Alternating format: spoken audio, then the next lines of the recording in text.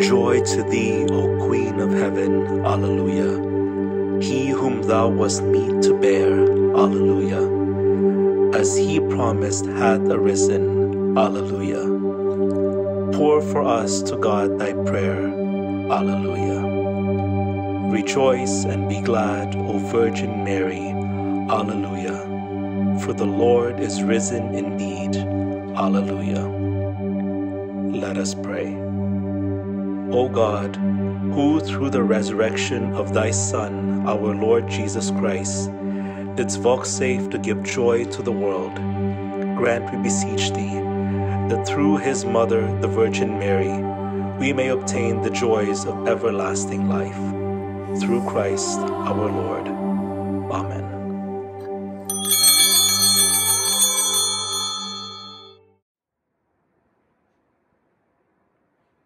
In the name of Father, and of the Son, and of the Holy Spirit. Amen. The grace of our Lord Jesus Christ, and the love of God, and the communion of the Holy Spirit be with you all. And with your spirit. To prepare ourselves to celebrate the sacred mysteries, we now call to mind our sins.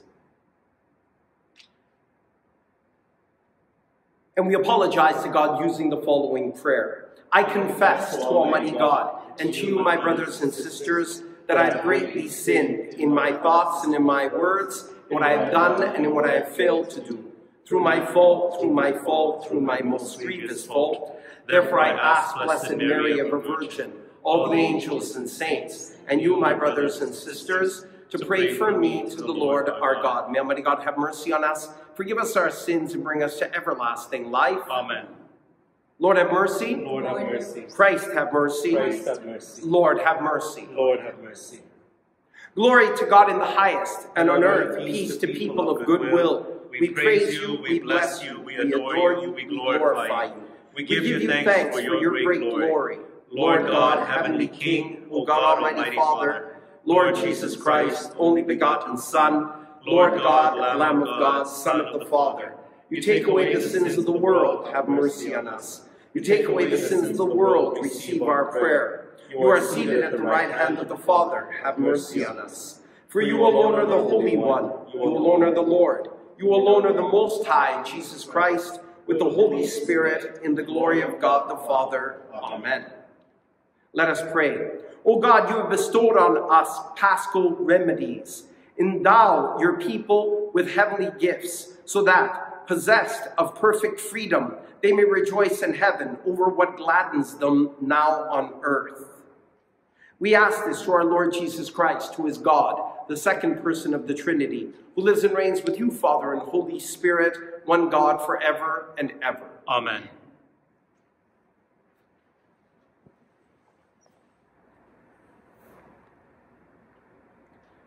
A reading from the Acts of the Apostles. When the day of Pentecost had come, Peter, standing with the eleven, raised his voice and addressed the crowd. Let the entire house of Israel know with certainty that God has made him both Lord and Messiah, this Jesus whom you crucified. Now when the people heard this, they were cut to the heart and said to Peter and to the other apostles, Brothers, what should we do? Peter said to them, Repent and be baptized, every one of you, in the name of Jesus Christ, so that your sins may be forgiven, and you will receive the gift of the Holy Spirit. For the promise is for you, for your children, and for all who are far away, everyone whom the Lord our God calls to him. And Peter testified with many other arguments and exhorted them, saying, Save yourselves from this corrupt generation. So those who welcomed his message were baptized, and that day about 3,000 persons were added to their number. The word of the Lord. Thanks, be to God. The earth is full of the goodness of the Lord. The earth is full of the goodness of the Lord. The word of the Lord is upright, and all his work is done in faithfulness. He loves righteousness and justice. The earth is full of the steadfast love of the Lord. The earth is full of the goodness of the Lord. Truly, the eye of the Lord is on those who fear him, on those who hope in his steadfast love, to deliver their souls from death and to keep them alive in famine. The earth is full of the goodness of the Lord. Our soul waits for the Lord. He is our help and shield. Let your steadfast love, O Lord, be upon us, even as we hope in you. The earth is full of the goodness of the Lord. Alleluia, Alleluia, Alleluia, Alleluia,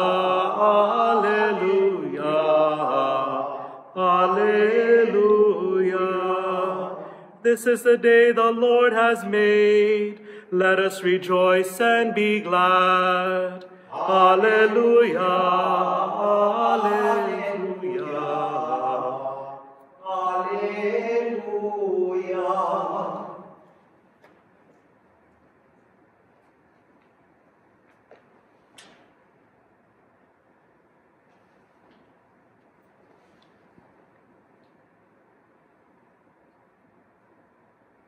The Lord be with you. And with your spirit. A reading from the Holy Gospel according to John. Glory to you, Lord. Mary Magdalene stood weeping outside the tomb. As she wept, she bent over to look into the tomb, and she saw two angels in white sitting where the body of Jesus had been lying, one at the head and the other at the feet. They said to her, Woman, why are you weeping? She said to them, They have taken away my Lord, and I do not know where they have laid him. When she had said this, she turned around and saw Jesus standing there, but she did not know that it was Jesus. Jesus said to her, Woman, why are you weeping? Whom are you looking for? Supposing him to be the gardener, she said to him, Sir, if you have carried him away, tell me where you have laid him and I will take him away. Jesus said to her, Mary. She turned and said to him in Hebrew, Rabboni, which means teacher.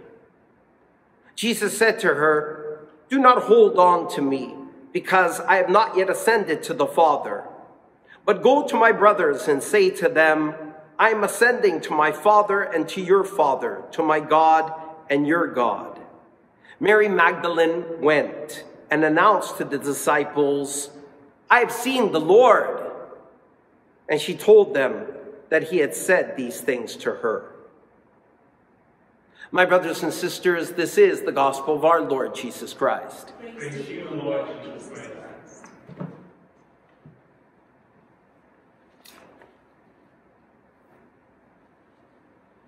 As I mentioned to you yesterday, at the homily on Easter Monday, we are going to be studying the Acts of the Apostles for the next 50 days until May 31st, 2020, which is the Sunday of Pentecost. If you pay attention as we are studying the Acts of the Apostles, you will see the apostles filled with the Holy Spirit the followers of Jesus go from doubt to determination, from confusion to conviction, and from fear to faith. It is important that we study the Acts of the Apostles because, unfortunately, as I have mentioned to you over the last couple of days, most Catholics never read their Bible. What bothers me most is when people will confront me after I say that and say, Father, I don't know what you're talking about. I have tested in the last 22 years of priesthood hundreds of people in classrooms from grade 1 to grade 12. I have asked them the question, what is the fifth book in the New Testament. I'll even give them a hint. Matthew, Mark, Luke, John, and then 99% of the time they cannot answer Acts of the Apostles. So do not be telling me that Catholics read their Bible. Please, please, please, please, do me a favor. Do not test me. Catholics don't read their Bible. If 99% of Catholics do not know that the fifth book in the New Testament is the Acts of the Apostles, Catholics don't read their Bible. So please, do not be telling me that Catholics read their Bible. Please, please, do not insult my intelligence. Do not insult my intelligence. Catholics do not read their Bible. Is it their fault? Absolutely not. As I mentioned to you, it is a historical development that 500 years ago, the Protestant Christians ran away with the Bible, the Catholics ran away with the sacraments, and the Pentecostal Christians ran away with the God, the Holy Spirit. You might as well put the Catholics and the Orthodox together, running away with the sacraments. But do not tell me that Catholics read their Bible. They do not read their Bible. This is the first time many Catholics will be studying the Acts of the Apostles. So for the next 50 days, we will be studying the Acts of the Apostles. Today's first reading from Acts looks at chapter 2 of Acts. In today's reading from Acts, we hear when Peter addressed the crowd, let the entire house of Israel know with certainty that God has made him Jesus, both Lord and Messiah, this Jesus whom you crucified. They were cut to the heart and asked, What should we do? Peter answers, Repent and be baptized, every one of you, in the name of Jesus Christ, so that your sins may be forgiven, and you will receive the gift of the Holy Spirit. Can you imagine the pain caused to the Jews by Peter challenging them and saying, You killed the Messiah. The Messiah you've been waiting for thousands of years, you have killed. Peter, like Jesus Christ, was not politically correct. Peter, like Jesus Christ, didn't say things to people to make them feel good he challenged them with love, always with love, to become mature disciples of Jesus Christ. And he challenged them. You killed the Messiah. They were shocked. What should we do? Obviously, that is the correct response. Repent. Be baptized. That's how Peter responds. Peter, filled with the Holy Spirit, takes them from doubt to determination, from confusion to conviction, and from fear to faith. In today's world, we are so politically correct. We're so worried about hurting people's feelings. We don't hurt people's feelings on purpose. We challenge people in love to come to be this mature disciples of Jesus Christ. That is our purpose, as was Peter's purpose in challenging the Jews of his time. This is a time that is most unusual in the church. The Catholic Church has been, for all intensive purposes, closed down. This is an opportunity for us to mature in faith by the power of the Holy Spirit. You see, for the next number of days, we will be reading the first reading from the Acts of the Apostles. Then we read the Gospel, which is pre-Pentecost. And if you look at the Gospel today, Jesus turns to Mary Magdalene and asks, Woman, why are you weeping? Mary Magdalene went and announced to the disciples I have seen the Lord. There's all sorts of doubt. There's all sorts of confusion. There's all sorts of fear. The Holy Spirit, after Pentecost, takes all that away. It is important that we understand the role of the Holy Spirit, especially during this time of COVID, because again, the world is giving us doubt, confusion, and fear. By the power of the Holy Spirit in studying the Acts of the Apostles, we can come to determination, conviction, and faith. There are 28 chapters in the Acts of the Apostles. The following video that we are going to show you will summarize Acts 1 to 7, chapters 1 to chapter 7, by a group called the Bible Project. Watch the video. And I would challenge you. Yesterday I challenged you to find a Bible. Today I'm challenging you, after you watch the video, read Acts chapter 1 to 7.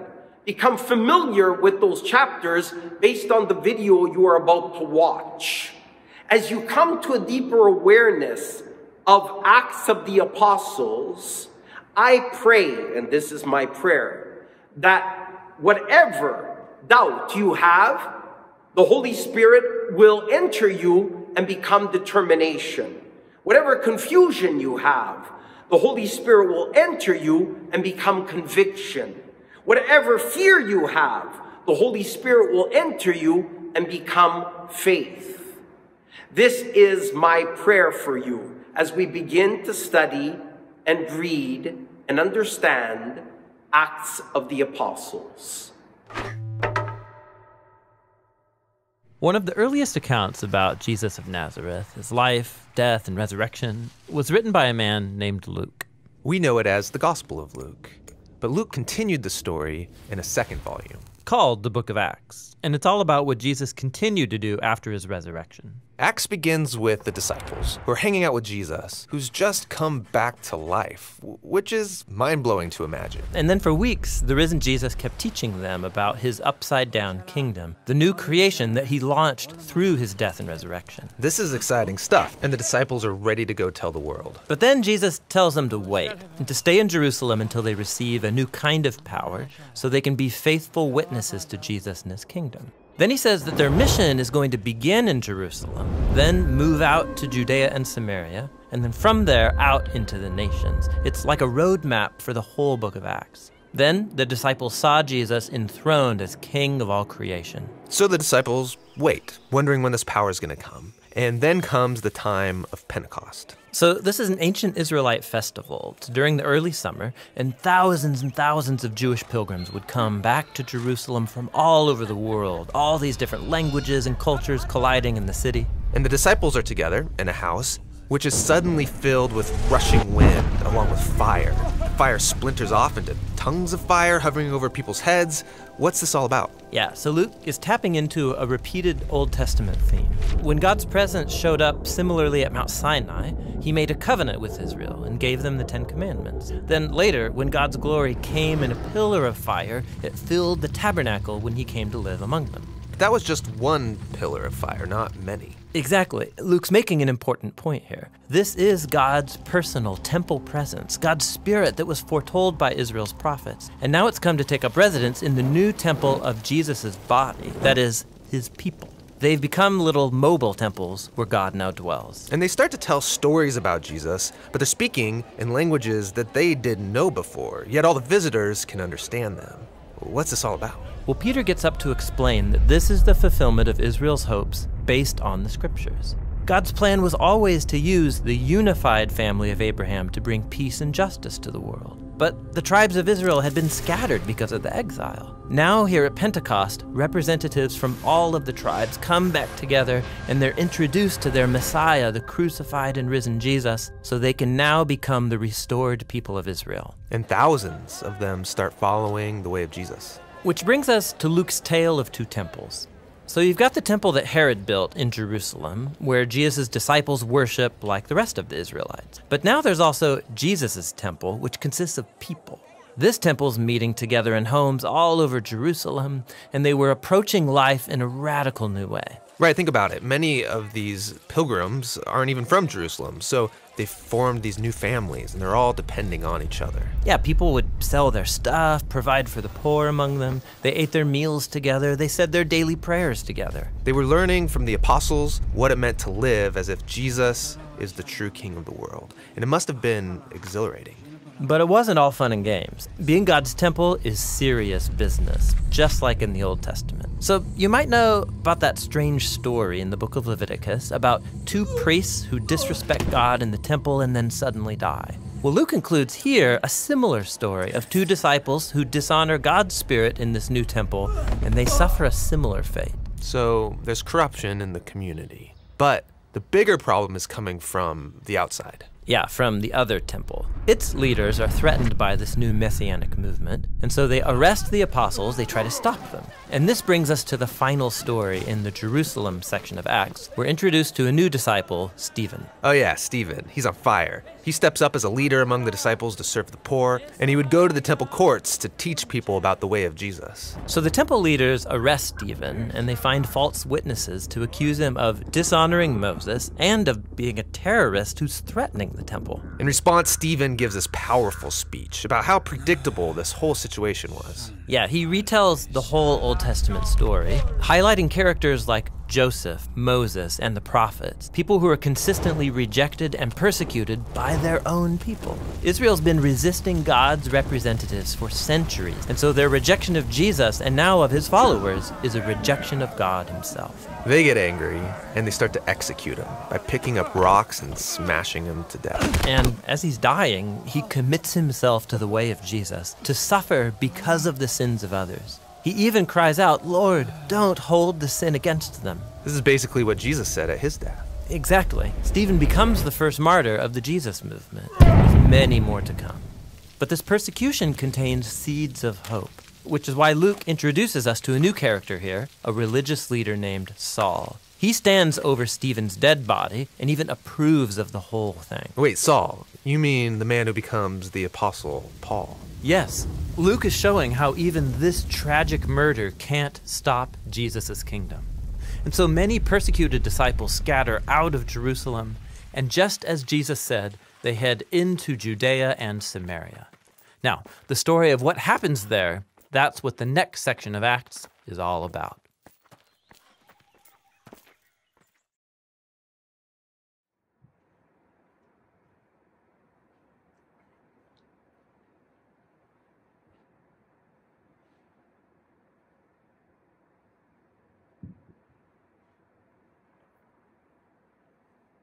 Bless you, Lord God of all creation, for through your goodness receive the bread we offer you, fruit of the earth and human hands, and work of human hands. It will become for us the bread of life. Blessed be God forever.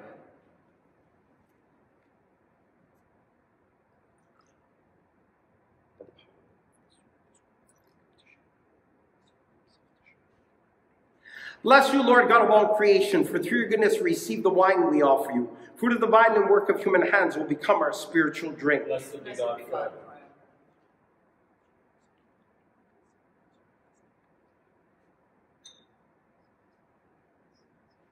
Pray, brothers and sisters, that my sacrifice and yours may be acceptable to God the Almighty Father.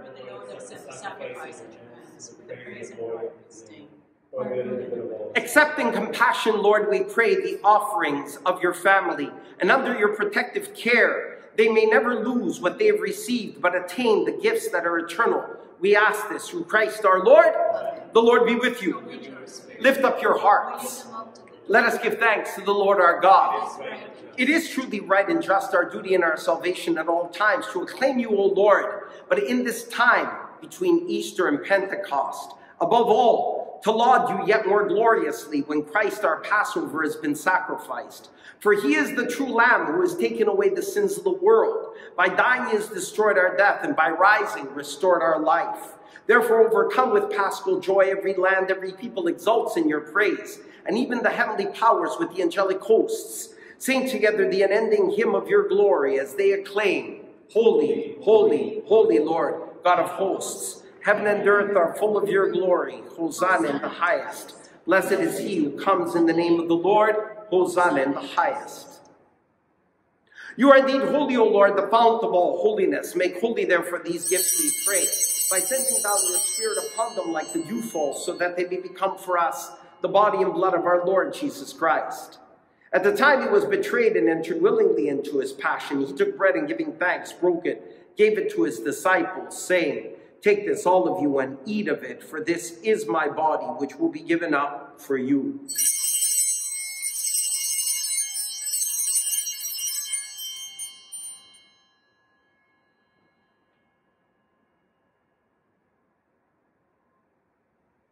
In a similar way, when supper was ended, he took the chalice, and once more giving thanks, he gave it to his disciples, saying, Take this, all of you, and drink from it, for this is the chalice of my blood, the blood of the new and eternal covenant, which will be poured out for you and for many for the forgiveness of sins. Do this in memory of me.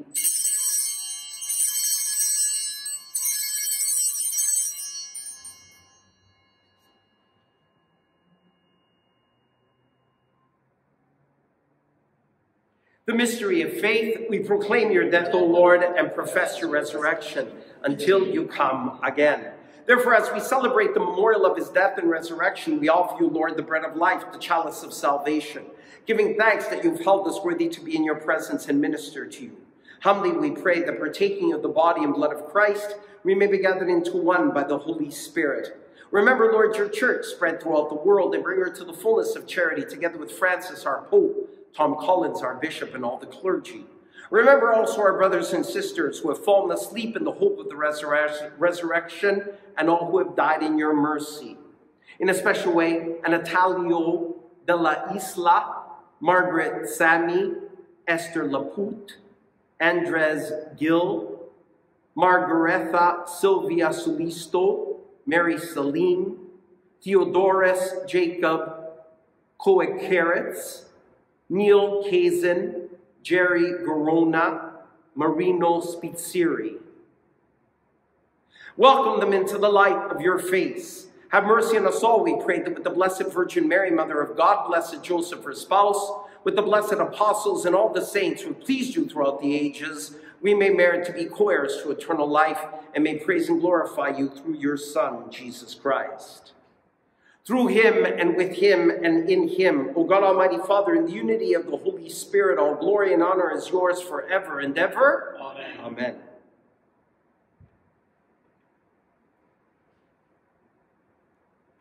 At the Savior's command, informed by divine teaching, we dare to say, Our Father, who art in heaven, hallowed be thy name. Thy kingdom come, thy will be done on earth as it is in heaven. Give us this day our daily bread, and forgive us our trespasses, as we forgive those who trespass against us. And lead us not into temptation, but deliver us from evil. Deliver us, Lord, we pray, from every evil. Graciously grant peace in our days, that by the help of your mercy we may be always free from sin, safe from all distress, as we await the blessed hope and coming of our Savior, Jesus Christ. Kingdom, power, and glory, yours now and Lord Jesus Christ, who said to your apostles, Peace I leave you, my peace I give you. Look not on our sins, but on the faith of your church. Graciously grant her peace and unity in accordance with your will, who live and reign forever and ever. Amen. The peace of the Lord be with you always. Let us offer each other a sign of peace.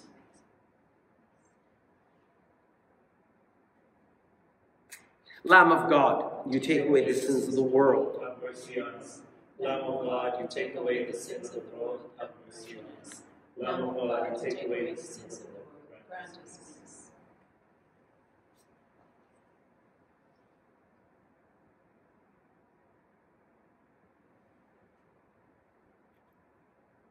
Behold the Lamb of God, behold him who takes away the sins of the world. Blessed are those called to the supper of the Lamb. Lord, I'm not worthy that you should enter under my roof. Only say the word, and my soul shall be healed.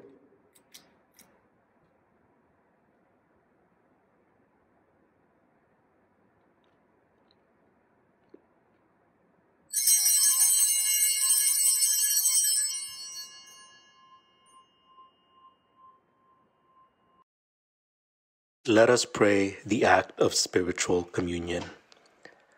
My Jesus, I believe that you are present in the most holy sacrament. I love you above all things, and I desire to receive you into my soul. Since I cannot at this moment receive you sacramentally, come at least spiritually into my heart. I embrace you as if you were already there and I unite myself wholly to you. Never permit me to be separated from you. Amen. Soul of Christ, sanctify me. Body of Christ, save me. Blood of Christ, fill me. Water from the side of Christ, wash me. Passion of Christ, strengthen me. O good Jesus, hear me. Within your wounds, hide me. Suffer me not to be separated from you. From the malicious enemy, defend me. At the hour of my death, call me, and bid me come to you, that with your saints I may praise you forever and ever. Amen. Let us pray one Hail Mary for all who are sick and for those who care for them. Hail Mary, full of grace, the Lord is with thee. Blessed art thou amongst women, and blessed is the fruit of thy womb, Jesus.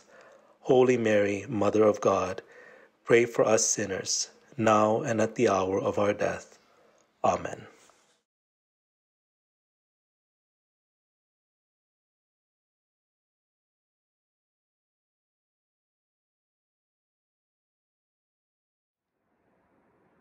Let us pray. Hear us, Almighty God, and as you have bestowed on your family the perfect grace of baptism, so prepare their hearts for the reward of eternal happiness through Christ our Lord. The Lord be with you. May Almighty God bless you all, the Father, the Son, and the Holy Spirit. This Mass is ended. Let us go in peace to love and serve God and each other. Alleluia, alleluia, alleluia. Thanks be to God. Alleluia, alleluia, alleluia. Saint Michael the Archangel, defend us in battle. Be our defense against the wickedness and snares of the devil. May God rebuke him, we humbly pray. And do thou, Prince of the heavenly hosts, by the power of God cast into hell Satan and all the evil spirits who wander through the world seeking the ruin of souls. Amen. Hail, Holy Queen, Mother of Mercy, our life, our sweetness, and our hope. To thee do we cry, poor banished children of Eve. To thee do we send up our sighs, mourning and weeping in this valley of tears. Turn then, most gracious advocate, thine eyes of mercy towards us. And after this our exile, show unto us the blessed fruit of thy womb, Jesus. O clement, O loving, O sweet Virgin Mary, pray for us, O Holy Mother of God. That we may be made worthy of the promises of Christ.